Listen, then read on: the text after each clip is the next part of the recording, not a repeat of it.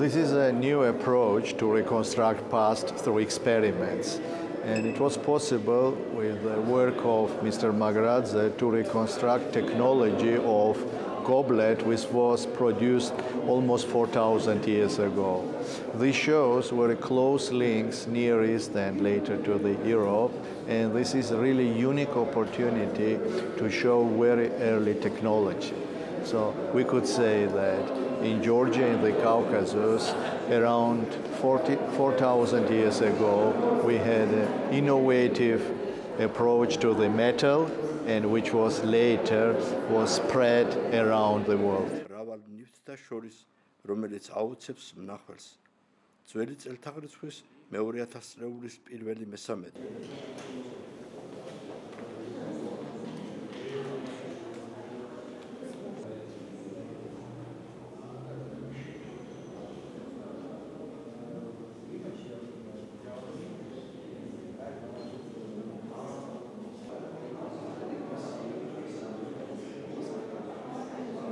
ორი ცალცალკე საგანგებო ასეთი საქმიანობისათვის საჭირო გრძნევლის საშუალებით. ამისათვის დამამზადეთ ბრინჯაოსა და სხვადასხვა ჯიშის ხის მერქნისაგან რამდენიმე ფორმის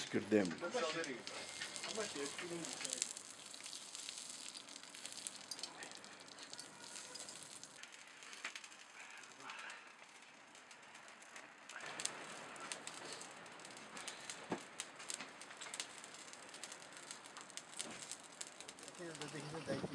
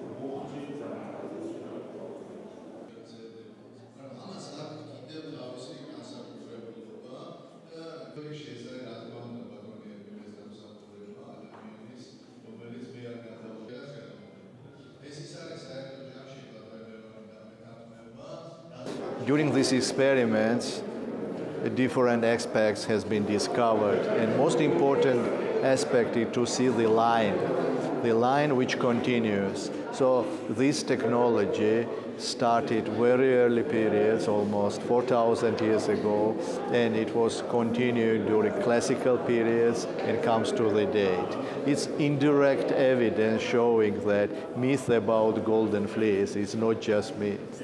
It has a scientific background